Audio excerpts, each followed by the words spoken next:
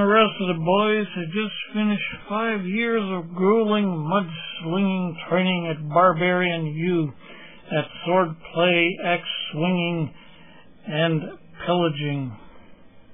And we were going to go out and celebrate. Freya, wife of Barbarian U's head chieftain Thor, suggested I should go out and celebrate by trespassing on Freya's temple of fertility and basically show my manhood in the sacrosanct of all temples to her. And so I agreed to that and I went with Freya to the old ruined temple of Freya, fertility goddess. Second thoughts as we approached the old ruined temple, but Freya egged me on, telling me that Freya's virgins kept a lovely stash of mead hidden under the altar. And so we entered the ruined temple and brushed aside the cobwebs and the bats.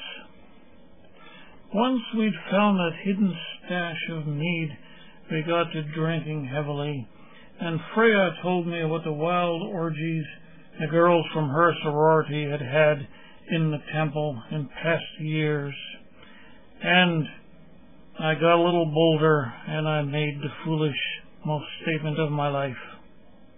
Then I challenged Freya the fertility goddess to do what she could to me, and in my drunken haze I never noticed the drops and spatters of my mead falling onto the altar, a libation to the goddess, and the invitation she needed to act.